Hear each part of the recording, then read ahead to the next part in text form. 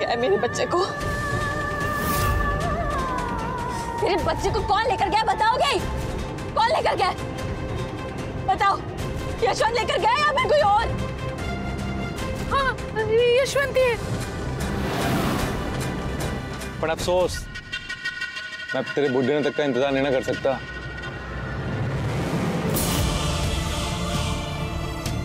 मरेगा तो तू आज ही। छोड़ दो मुझे छोड़ दो। प्लीज़ मेरा हाथ खोल दो अंकल प्लीज़ आपको पैसे चाहिए? मेरे को लगना दो सौ रुपए। मैं मैं आई को भी बोल दूँगा कि वो आपको पैसे दे दे। उनके पास ना बहुत सारे पैसे हैं, लेकिन मुझे तो छोड़ दो अंकल। हाईफाई तो उसको हाईफाई बुलाता है। तेरे को मालूम भी है कि वो कौन है तेरी? अरे चल ये बता कि तेरी आई कौन है? इसको मोक्ष के पास लेके जाना ही पड़ेगा। नहीं तो ये सच में मेरी जान निकाल देगी। ये वहाँ अही से निपटेगी और मैं मैं मौका देख के निकल जाऊँगी। मेरा पिल्लू मेरे सामने था और मैं नहीं अब नहीं। अब मेरे पिल्लू को मुझसे कोई दूर नहीं रख सकता। मैं आ रही हूँ पिल्लू तेरी आई आ रही है। नहीं मालूम ना अंकल। मैंने गणपति बप्पा से कितनी बार बोला कि मुझे मेरी आई से मिलवा दो लेकिन वो मिलवाते ही नहीं।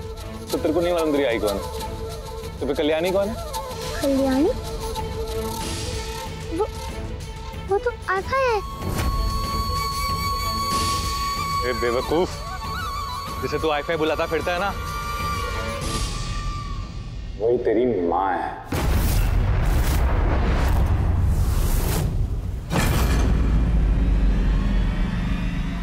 अरे आई है तेरी कल्याणी। अफसोस माँ बेटे का मिलन होने से पहले ही दोनों को अलग होना पड़ेगा